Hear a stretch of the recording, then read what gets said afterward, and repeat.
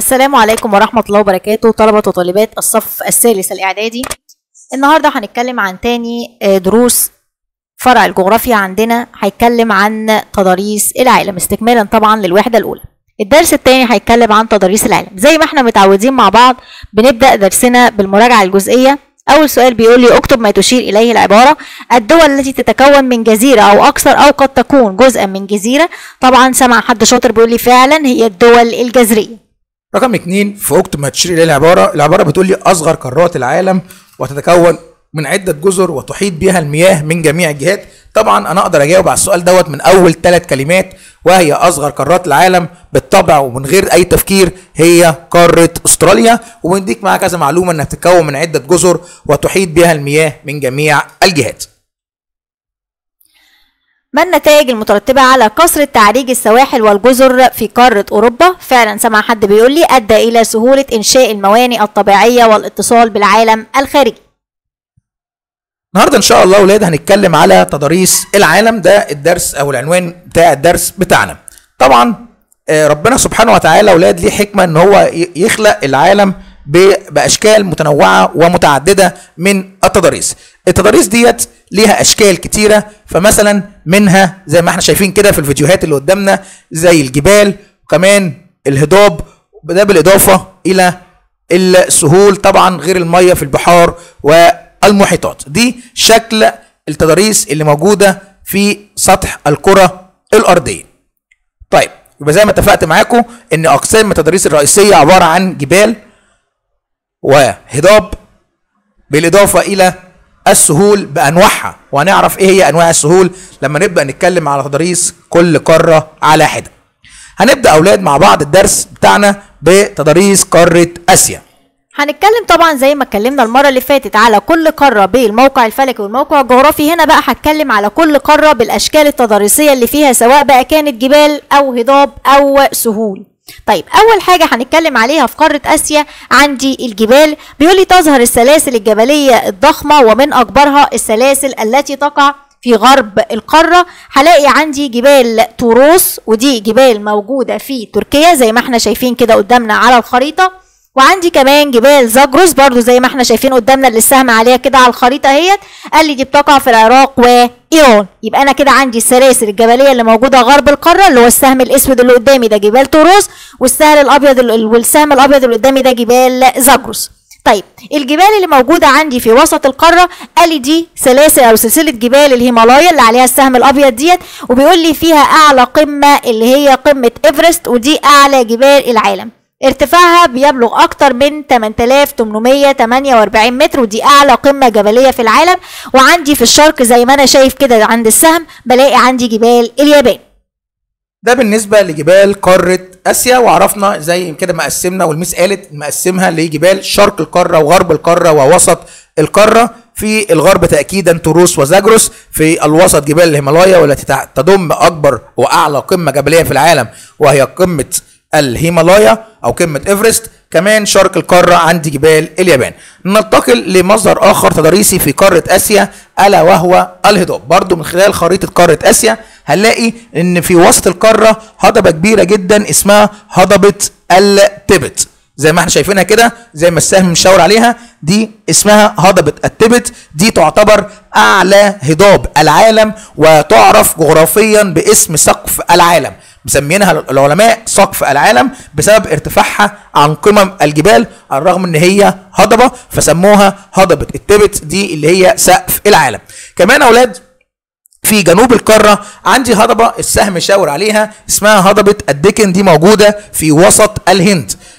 استكمالا للهضاب عندي هضبة في جنوب غرب وهي هضبة شبه الجزيرة العربية. يبقى أنا أولاد عندي ثلاث هضاب مهمين جدا في قارة آسيا. هضبة التبت في الوسط هضبة الدكن في الجنوب وفي الجنوب الغربي عندي هضبة شبه الجزيرة العربية. لازم تعرف كل مظهر تضاريسي ومكانه فين على الخريطة عشان لما يجي لك سؤال الخريطة في الامتحان.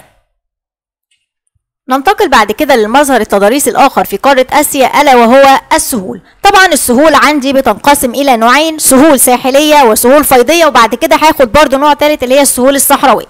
طيب تعالوا أول حاجة نتكلم على السهول الساحلية اللي موجودة عندي في قارة آسيا. بيقول لي هنا السهول الساحلية دي اللي بتطل على البحار والمحيطات. زي ما إحنا شايفين كده والسهم مشاور لنا أول سهل ساحلي موجود عندي هنا في قارة آسيا السهول المطلة على سواحل المحيط الهادي. مش بس المحيط الهادي كمان ده أنا عندي المحيط الهندي. إلى جانب كمان المحيط القطبي الشمالي أو المحيط المتجمد الشمالي. وبلاقي عندي برضو البحار اللي موجودة عندي في القارة زي بحر قزوين. أما عن السهول الفيضية طبعا السهول طالما قلت لك سهل فيضي يبقى أنا بتكلم على سهول كونتها الأنهار فلازم أقول لك إيه هو النهر؟ طبعا أولاد في عندي سهول أول حاجة السهول الفيضية في قارة آسيا هي سهول سيبيريا وتقع في أقصى أو في شمال قارة آسيا ويمتد فيها ثلاث أنهار واسعة زي ما هيبان لك على الخريطة كده نهر أوب وينسي ولينا. دي الثلاث اسهم اللي نزلوا باللون الاسود دول دول الأنهار اللي بتن ب ب ب بتجري في شمال قارة آسيا وبتكون لي سهول فيضية اسمها سهول سيبيريا ولكن في ملحوظة عايز أقولها لك على سهول سيبيريا أو سهول الثلاث أنهار بتوع أوب ويانسي ولينا إن الثلاث أنهار دول بتفقد يعني أهميتها الاقتصادية في فصل الشتاء.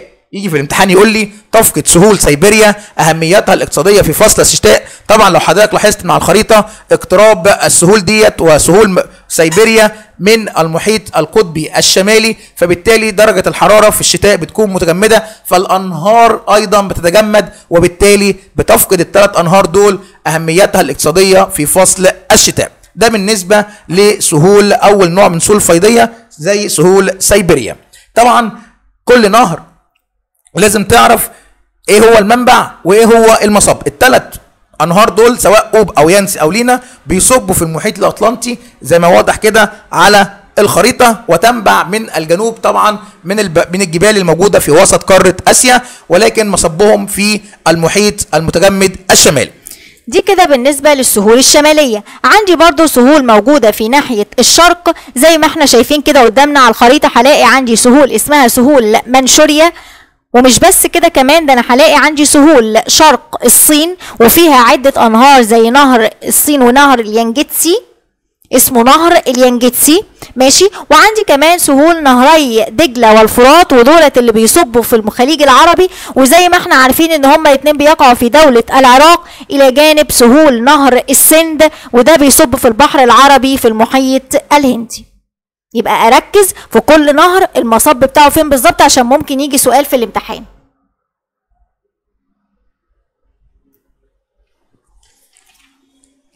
هنروح لتضاريس القارة التانية معانا النهاردة وهي تضاريس قارة أفريقيا. وبرضه هنتكلم على جبال وهضاب وسهول.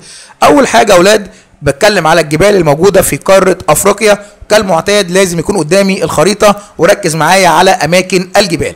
أول حاجة أولاد عندي جبال في شمال الغرب القارة وهي جبال أطلس وهي عبارة عن سلاسل جبلية تحصر بينهما هضبة الشطوط. بص واضحة جبال أطلس سلاسل جبال عملاقة بتحصر بينهما هضبة اسمها هضبة الشطوط. ده بالإضافة كمان أولاد إلى جبال البحر الأحمر اللي بتقع على ساحل البحر الأحمر في كل من مصر والسودان وإريتريا.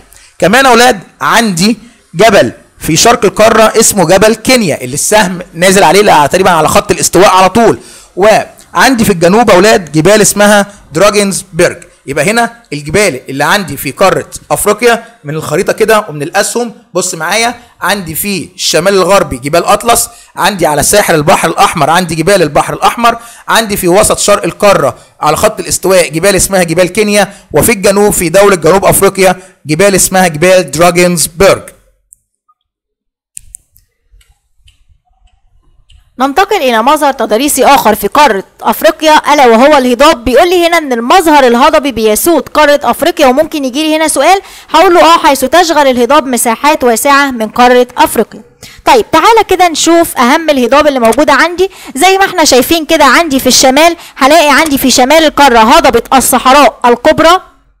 ودي هلاقي موجود منها هضبة الصحراء الشرقية وهضبة الصحراء الغربية ودول اللي موجودين عندي في مصر.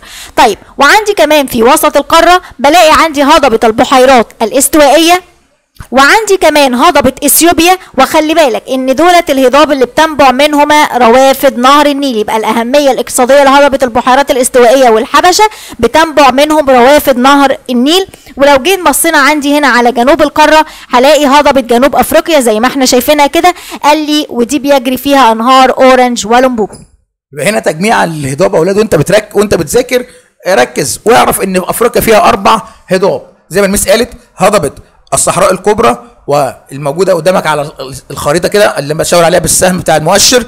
عندك كمان هضبة أثيوبيا عندك هضبة البحيرات الإستوائية وفي الجنوب هضبة أفريقيا الجنوبية. هنروح بعد كده أولاد لسؤال المتفوقين. السؤال بيقول لي بما تفسر أهمية هضبتي البحيرات الإستوائية والحبشة لمصر.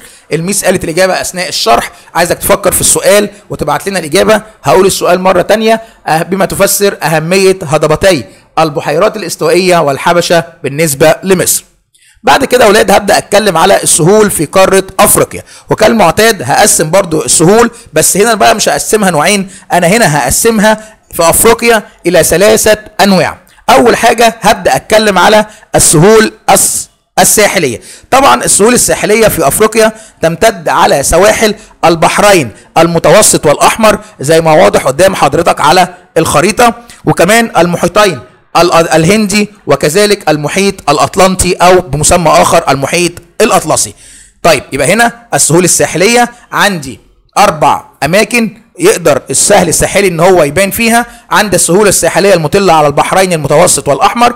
عندي السهول الساحلية المطلة على المحيطين سواء كان الهندي أو الأطلسي. ولكن عندي ملاحظة مهمة جدا إن السهول الساحلية في قارة أفريقيا تتميز بوجه عام بالضيق. تاني السهول الساحلية تتميز بوجه عام بالضيق. يعني إيه يا مستر؟ قال لي يعني مساحتها ضيقة. ما هياش سهول واسعة؟ طب إيه السبب في ده؟ قال لي السبب في ده بسبب اقتراب حفات الجبال والهضاب من الساحل.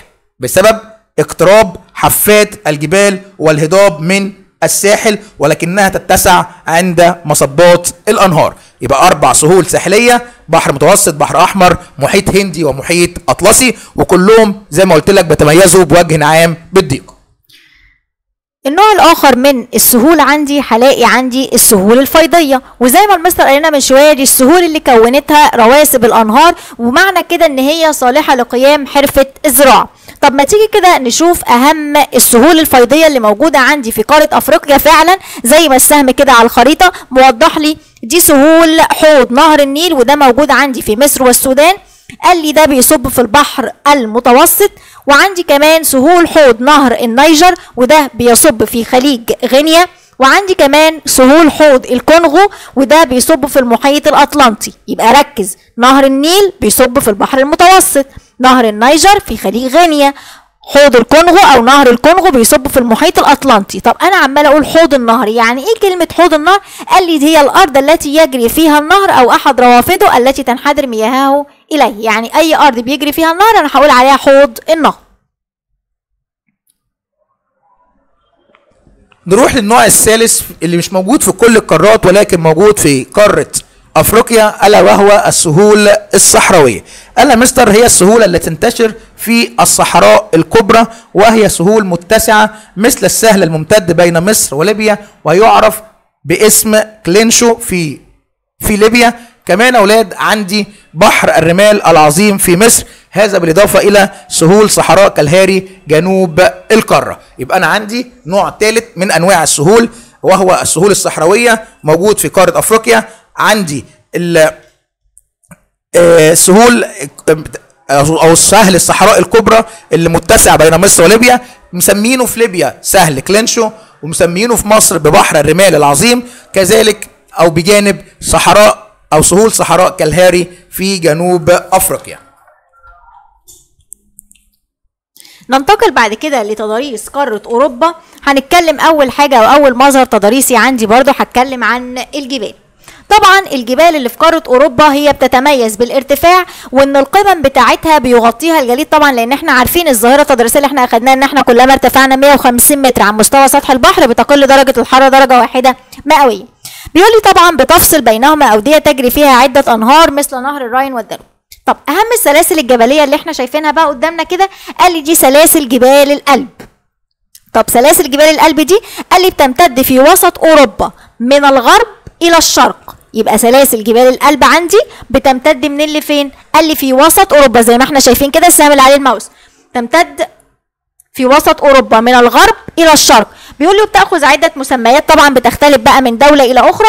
بلاقيها في شمال أسبانيا بتعرف باسم جبال البرانس زي ما إحنا شايفين السهم اللي عليه الماوس ده وجبال الألب الدينارية في شبه جزيرة البلقان يبقى كده خدت لها مسميين. يبقى جبال الألب بتنقسم لقسمين جبال البرانس دي في شمال أسبانيا وجبال الألب الدينارية دي في شبه جزيرة البلقان تعالى سنة تالتة بقى نروح للمظهر التضاريسي الآخر في قارة أوروبا ألا وهو الهضاب. الهضاب أولاد في قارة أوروبا برضو تمتد في وسط أوروبا من الشرق إلى الغرب.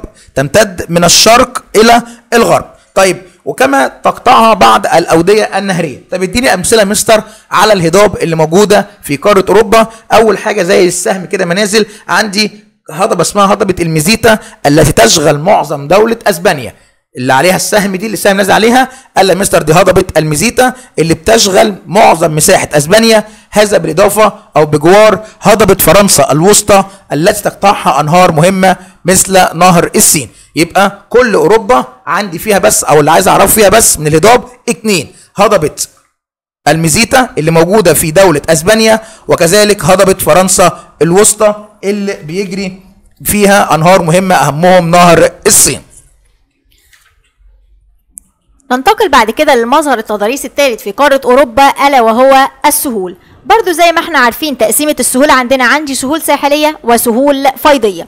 هنتكلم دلوقتي على السهول الساحلية ودي هلاقيها السهول اللي بتمتد زي ما إحنا شايفين قدامنا كده والسهم على الخريطة. السهول الممتدة على سواحل المحيط الأطلنطي. إلى جانب أيضا السهول المطلة على البحر البلطي. وكذلك أيضا بحر الشمال وده في الغرب والشمال الغربي. يبقى أنا عندي ثلاث سهول ساحلية موجودة فين؟ محيط أطلنطي بحر بلطي بحر شمال. وعندي كمان البحر المتوسط ده هلاقيه موجود عندي في الجنوب. طيب بيقول لي بقى إن السهول دي إحنا خدناها بقى في درس الموقع الفلكي والجغرافي بتاع الدول أو القارات بتاعتي. عرفنا إن السهول ديت بتتميز بالاتساع والتعرج. يعني سهول قارة أوروبا بتتميز بالاتساع والتعرج. ده أدى إلى إنشاء الموانئ الطبيعية به تعالى يا ولاد نروح للنوع الثاني من السهول في قارة أوروبا وهو السهول الفيضية. هو سهل واحد بس سهل قايم بالواجب زي ما بيقولوا كده. السهل الموجود يا ولاد هو السهل الأوروبي العظيم. حضرتك لما هقول لك امتداده هتعرف إن هو كفاية قوي عليهم سهل واحد كمان على مساحة قارة أوروبا. قال مستر السهل الأوروبي العظيم يمتد من المحيط الأطلنطي غربا. بص المساحة من المحيط الأطلنطي غربا حتى جبال الأورال شرقا. بص أدي جبال أورال ده في الشرق. وادي المحيط الأطلنطي في الغرب كل اللي ماشي عليه أنا بالسهم ده ده اسمه السهل الأوروبي العظيم. طبعا ولازم يكون اسمه العظيم نظرا لامتداده واتساعه في معظم دول قارة أوروبا. مش بس كده ده بيقول لي مستر يوجد به المدن الأوروبية الرئيسية مثل باريس وبرلين. طبعا عارفين إن باريس عاصمة فرنسا وبرلين هي عاصمة ألمانيا. يبقى السهل الأوروبي العظيم ده يمتد غربا من المحيط الأطلنطي حتى جبال الأورال شرقا تمر به أو توجد به المدن بعض المدن الرئيسية الأوروبية مثل باريس وبرلين. بيقول لي مستر إن معظمه معظم السهل الأوروبي العظيم ده بيتكون من رواسب طينية تمثل تربة جيدة صالحة للزراعة كونتها الأنهار. يعني عايز يوصل لي إن السهل الأوروبي تربته خصبة جدا صالحة للزراعة. المشكلة بقى في النهر الاوروبي العظيم يا أولاد الأنهار. ركز كده معايا عشان تعرف إيه هي الأنهار اللي موجودة أو أهم الأنهار الموجودة في السهل الأوروبي العظيم. أنا عايزك تعرف بس أسماء ثلاث أنهار. النهر الأولاني هو نهر الفولجا ونهر الفولجا أولاد بيصب في بحر قزوين. نهر الفولجا بيصب في بحر قزوين. النهر الثاني هو نهر الراين الذي يصب في بحر الشمال. خلي بالك يبقى السهم اللي نزل ده رقم اتنين ده اللي هو اللي عليه المؤشر بتاع الماوس ده نهر النهر الفولجا اللي بيصب في بحر قزوين. تمام كده؟ كمان أولاد عندي من ضمن الأنهار عندي نهر الدانوب الذي يصب في البحر الأسود. زي كده السهم ما نزل. يبقى أنا عندي ثلاث أنهار. موجودين في السهل الاوروبي العظيم. عندي نهر الفولجا اللي يعتبر أطول أنهار أوروبا والذي يصب في بحر قزوين. عندي نهر الراين الذي يصب في بحر الشمال. وكذلك عندي نهر الدانوب الذي يصب في البحر الأسود. زي ما كده ما المؤشر بيعلم عليه.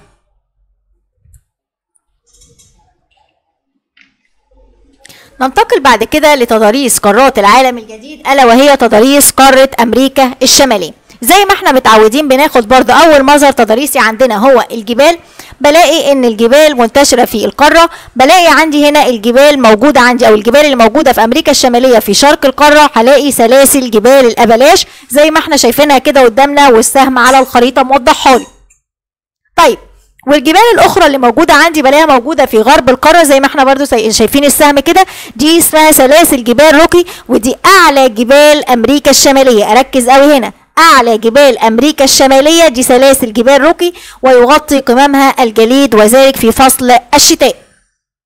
أما عن الهضاب في قارة أمريكا الشمالية هم هضبتين بس عايزك تعرفهم. قال مستر هضبة المكسيك وهضبة لابرادور. طبعا المكسيك اللي هي اللي بشاور عليها دلوقتي بالسهم هي دي هضبة المكسيك. وفي الشمال الشرقي واضح اسمها اهو دي هضبة لابرادور اللي هي موجودة في شمال شرق أمريكا الشمالية. دول أهم آه، آه، هضبتين موجودين في قارة أمريكا الشمالية المكسيك في الجنوب واللابرادور في الشمال.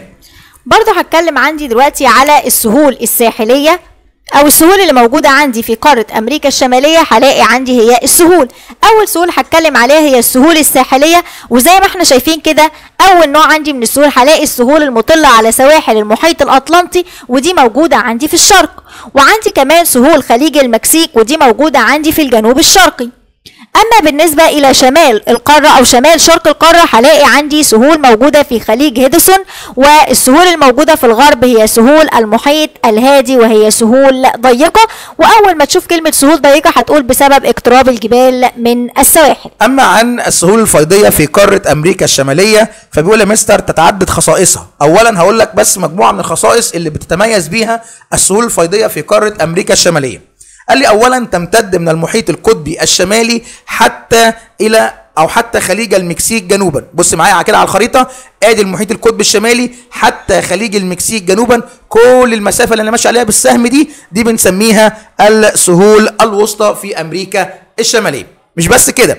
قال لي مستر يغطي الجليد أطرافها الشمالية عشان قربت من القطب الشمالي والمحيط القطبي الشمالي فأكيد أطرافها الشمالية هتكون متجمدة.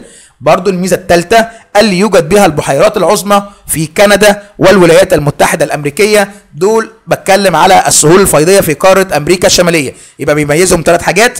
أول حاجة إن تمتد من المحيط القطبي الشمالي حتى خليج المكسيك جنوبا تتسع بوسط أمريكا الشمالية إلى الشرق من جبال روكي ويغطي الجليد أطرافها الشمالية ويوجد بها البحيرات العظمى في كندا والولايات المتحدة الأمريكية. بلاقي هنا برضو إن في عندي مجموعة من الأنهار موجودة عندي في السهول الفيضية وأول سهول عندي اللي هي سهول نهر نيلسون وده بيصب في خليج هيدسون. نيلسون هيدسون خلي بالك يبقى نهر نيلسون بيصب في خليج هيدسون. وعندي كمان السهول الأخرى اللي هي سهول سانت لورنس ودي بتصب في خليج سانت لورنس ودول موجودين في شمال شرق القارة. السهول الثالثة زي ما إحنا شايفين كده قدامنا على الخريطة سهول نهر المسيسيبي ودي بتصب عندي في خليج المكسيك. قال لي السهول ديت بتمتد في جنوب القارة حيث الأراضي الزراعية. هنروح لقارة جديدة وهي تضاريس قارة أمريكا الجنوبية وكالمعتاد هنبدا بالجبال ثم الهضاب. أول حاجة أولاد لو هنبص على قارة أمريكا الجنوبية هي سلاسل جبال واحدة وهي جبال الانديز اللي السهم مشاور عليها وهي عبارة عن سلاسل جبال مرتفعة في غرب القارة قرب سواحل المحيط الهادي زي ما السهم كده مشاور عليها دي جبال الانديز. عندي كمان بقى بالنسبة للمظهر التضاريس الآخر اللي هو الهضاب قال لي بتكثر الهضاب في شرق جبال الإنديز. طب ما تيجي كده نشوف إيه الهضاب اللي موجودة عندي؟ زي ما إحنا شايفين في الشمال هضبة جيانا دي في شمال القارة. في الوسط زي ما إحنا شايفين برضو السهم كده هضبة البرازيل. وفي الجنوب هضبة اسمها هضبة باتاجونيا خلي بالك هضبة البرازيل دي أكبر هضاب القارة وأكثرها ارتفاعا.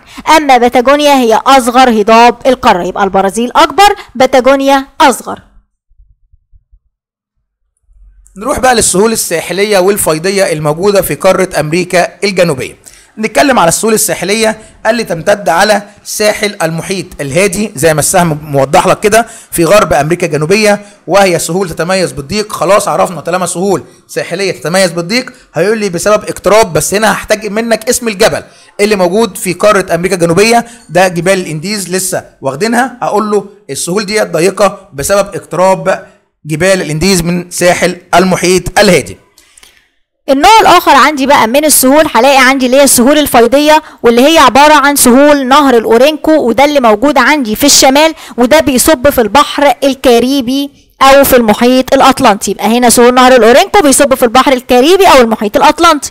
طيب السهول الأخرى عندي هي سهول حوض نهر الأمازون. دي أوسع سهول فيضية في العالم.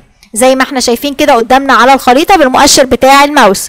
بيقول لي بقى بيجري فيها نهر الأمازون بروافده العديدة ويصب في المحيط الأطلنطي. يبقى نهر الأمازون برضو بيصب في المحيط الأطلنطي. طيب عندي كمان السهول الفيضية الأخرى هي سهول لابلاتا أو سهول البمباس ودي بتمتد من الشمال إلى الجنوب. يبقى سهول البمباس أو لابلاتا دي بتمتد من اللي فين؟ من الشمال إلى الجنوب. قال لي بتجري فيها بقى عدة أنهار زي بارانا وباراجواي ولابلاتا وكلاهما يصب في المحيط الأطلنطي. يبقى تقريبا كل الأنهار اللي موجودة في القارة دي بتصب في المحيط الأطلنطي. هنروح لآخر قارة معانا أولاد وهي قارة أستراليا. وبرضو كالمعتاد هنبدأ بالجبال.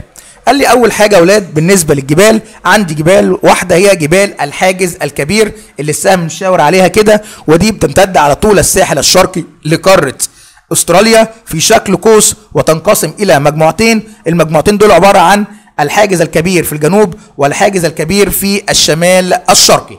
يبقى تاني هي جبال واحدة في قارة أستراليا هي جبال الحاجز الكبير ممتدة على الساحل الشرقي لقارة أستراليا وتنقسم لمجموعتين جبال الساحل الحاجز الكبير في الجنوب وجبال الحاجز الكبير في الشمال الشرقي. زي ما إحنا اتكلمنا على جبال واحدة بس موجودة عندي في قارة أستراليا هتكلم برضو على هضبة واحدة موجودة في قارة أستراليا اللي هي الهضبة الغربية. قال الهضبة الغربية دي تقريبا زي ما إحنا شايفين كده السهم رايح عليها على الخريطة هي تقريبا بتشغل نصف مساحة القارة. بيتميز معظم سطحها بالاستواء. بيقول لي تضاريس قارة أستراليا بتشبه تض- تضاريس قارة أفريقيا. إزاي؟ قال لي بيسودها المظهر الهضبي يعني بتتكون معظمها من هضاب. بعد كده أولاد هنبدأ نتكلم على السهول الساحلية في قارة أستراليا. السهول الساحلية أكيد أنت هتاخد بالك إن هي تتسع في الشمال والغرب والجنوب بينما تضيق في الشرق طبعا هي السهول الساحلية هي أي سهل بيمتد على بحر أو محيط. وزي ما أنا قلت لك في الدرس الأولاني إن قارة أستراليا تقريبا بيحد بيها المية أو البحار والمحيطات من جميع الجهات فبالتالي تعتبر فيها سهول ساحلية كتير. السهول ديت طبعا على المحيط الهندي على المحيط آه المحيط الهادي دي كلها هتلاقيها سه- سهول متسعة بس منين؟ بتتسع في الشمال والجنوب والغرب. أما في الشرق هتلاقي السهول دي ضيقة. أنت اللي هتقولي ليه؟ لما يجي في الامتحان يقول لك بما تفسر تضييق السهول الشرقية لقارة أستراليا طبعا هتقول له بسبب اقتراب حافات جبال الحاجز الكبير من المحيط الهادي. ده بالنسبة للسهول الساحلية. أما عندي هنا السهول الفيضية هلاقيها بقى إن هي سهول متسعة بيجري فيها نهر ميري ودارلينج. يبقى فيها نهرين ميري ودارلينج ودول بيصبوا في الخليج الأسترالي الكبير. يبقى نهر ميري ودارلينج زي ما إحنا شايفين كده على الخريطة بيصبوا في الخليج الأسترالي الكبير ودي عبارة عن سهول زراعية وتوجد بها الكثير من المدن المهمة.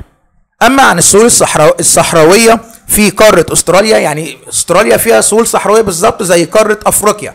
قال لي السهول الصحراوية في قارة أفريقيا توجد في الداخل مكان ما أنا كده بص زي ما كان بعلم بالماوس في الداخل وغرب القارة وهي عبارة عن صحاري رملية تقل بها موارد المياه. يبقى هنا هديك بس قبل ما أختم الدرس هديك ملاحظة مهمة. أنا قلت في أستراليا إن الهضبة الغربية بتشغل أكثر من نصف مساحة قارة أستراليا. وأنا قلت لك معلوم يعني معنى كده ان المظهر الهضبي بيسود القارة أكيد يعني. و... ولما اتكلمنا عن قارة افريقيا يا أولاد قلت لك برضو ان افريقيا بتتميز بان المظهر الهضبي هو اللي بيسود طيب ده اخد منه إيه؟ ده الاحظ منه ان تضاريس قارة استراليا تتشابه مع تضاريس قارة افريقيا حيث كلاهما يسودهما المظهر الهضبي. إلى جانب كمان وجود السهول الصحراوية في كلا القارتين سواء قارة أفريقيا أو قارة أستراليا. نتمنى إن أنتوا تكونوا استفدتوا من الدرس ونشوفكم في دروس تانية والسلام عليكم ورحمة الله وبركاته.